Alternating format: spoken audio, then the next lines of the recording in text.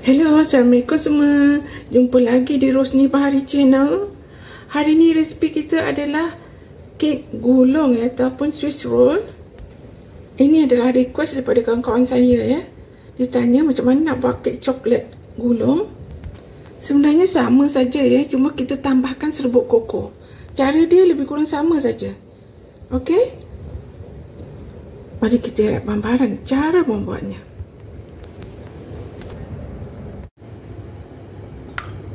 Okey, pertama sekali kita masukkan bahan-bahan A, kuning telur, gula, susu segar, vanila, garam, susu segar,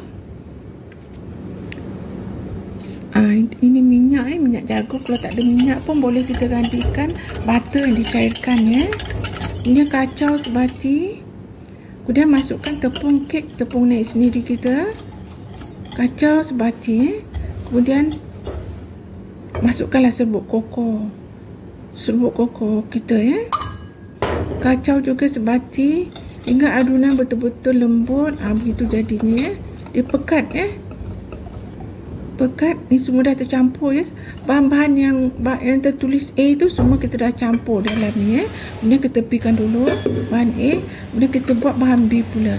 Bahan, bahan B adalah 5 biji putih telur, setengah sudu teh krim of tartar, masukkan sedikit sedikit.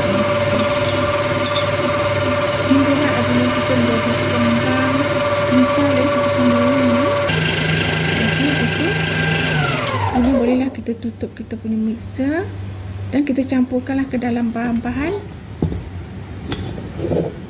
Eh yang kita buat terlebih dahulu tadi tu. Kita campurkan sebati semua gaul ya. Gaul uh, hingga terkacau bahagian bawah sekali ya.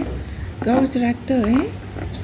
Kalau tak serata nanti kita punya kuih akan jadi tak berapa elok eh hingga semuanya menjadi bercampur dengan serata. Okey, kita akan dapat adunan seperti ini eh. Nampak tak? Ha, dah serata semua. Kemudian botila kita masukkan ke dalam loyang kita. Loyang kita adalah saya gunakan loyang uh, 23 cm kali 23 cm yang dah dialas dengan baking paper eh. Masukkanlah adunan kita tadi tu. Okey. Masukkan dan ka, bukan kacau lah ratakan ya. Ratakan bahagian atas tu hingga dia serata macam tu. Nanti bila dia masak elok cantiknya. Kemudian sebelum masuk tu oven kita hentak-hentakkan sekejap supaya dia serata ya. Kemudian bakarlah pada suhu 160 lebih kurang 20 okay, minit. Okey sekarang kek kita dah masak dah. Tunggu sejuk baru boleh kita top masukkan uh, buttercream ya. Sebab kalau panas nanti buttercream kita cair jadi kita tak tak cantik lah kita punya kek nanti. Okey sekarang buka dia punya baking paper tu biar dia sejuk. Okey nampak cantik kan lembut saja kita punya kek. Nah, saya suka begini. Lembut nak dilipat senang sangat. Okey. Separuh dia orang cakap macam mana nak lipat tak jadi pecah. Ah itu adunan tu lain tu. Kalau anda ikut adunan saya mesti nak lipat tu tak ada masalah pun. Eh, sebab kita adunan kita kita campur sikit susu segar. Susu segar tu membuat kita senang nak lipat ya. Eh. Okey, kemudian